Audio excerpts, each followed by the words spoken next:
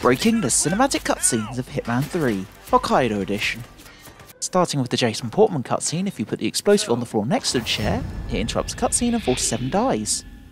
However, weirdly, if we put the explosive on the chair and 47 sits on it, 47 will survive, and it will auto-complete the cutscene.